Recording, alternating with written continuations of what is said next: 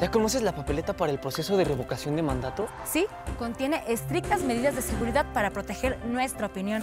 Si quieres conocerla, entra a INE.mx. ¿Y quiénes contarán nuestras opiniones? Nuestras vecinas y vecinos elegidos por sorteo y capacitados por el INE, quienes garantizan certeza, legalidad y transparencia.